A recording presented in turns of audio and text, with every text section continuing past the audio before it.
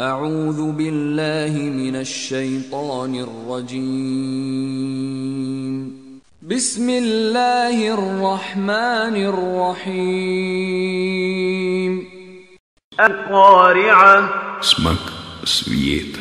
ما القارعة Šta je smak svijeta? وما أدراك ما القارعة I šta ti znaš o smaku svijeta?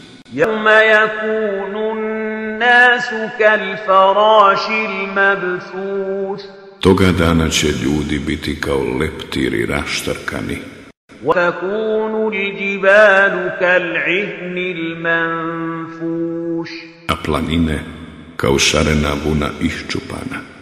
أما من ثقلت موازينه Onaj u koga njegova dijela budu teška, u ugodnu životu će živjeti.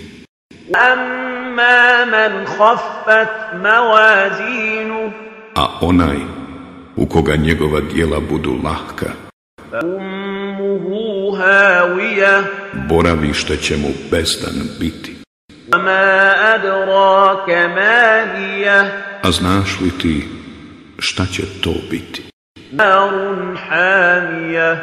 Vatra užarena.